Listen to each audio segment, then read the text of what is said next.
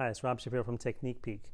Now we're going to look at the cuboid, calcaneocuboid joint, and see how its the motion is. So what we're going to do is we're going to be able to palpate it. So we find the fifth met and we drop off. We know that's our going to be our cuboid. We can palpate it from the bottom. The bottom takes up about two thirds of the bottom of the foot, and from the top we'll grab it through here, below, next to the calcaneus, but onto the cuboid.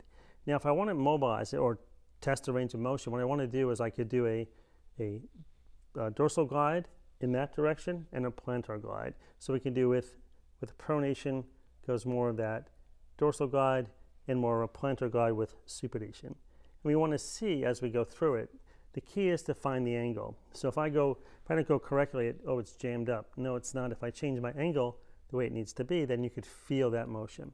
So we go to its end range, we could add some some passive range to it and take up the slack.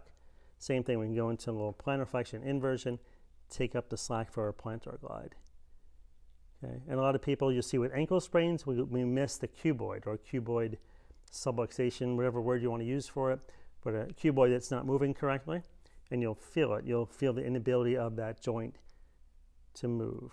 Okay, and that's key, and we're going to show in a future a couple of ways to manipulate that joint. But for now, Let's just find that joint and we can work our way up dorsal glide and a plantar glide. Take up the slack. It's Rob Shapiro from Technique Peek.